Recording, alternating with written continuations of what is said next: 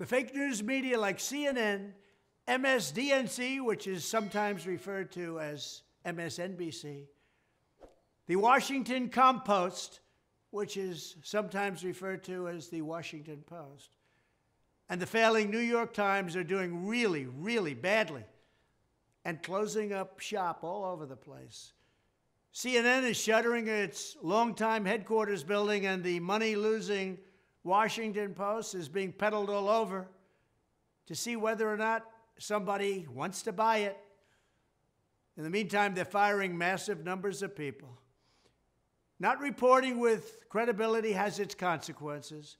The future of the fake news looks bleak, and that's a positive thing. But beware the Marxists and communists, which are well represented in our government. Many of them got there by fake news, so we have to stop it. We have to get back to normal. Thank you. I recently read an interesting headline in the paper that said, quote, the Washington Compost, which is the Washington Post, hit with Biden era layoffs as subscriptions plummet, end of quote. If they'd cover the news fairly, accurately, with a passion for our country, this wouldn't be happening to the Washington Post. People don't want fake news. Thank you very much. After many years, CNN is closing their Atlanta headquarters. It's very simple no ratings equal no money. They got no money because they have no ratings. That's what fake news gets you. People are wise to it. Likewise, speaking of fake news, MSDNC, sometimes referred to as MSNBC, is in very big ratings trouble.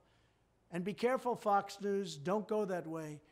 They've got failed politician Paul Ryan and RINO Karl Rove, a total loser, running things. Please be careful, Fox News. The fake news says I'm not campaigning very hard.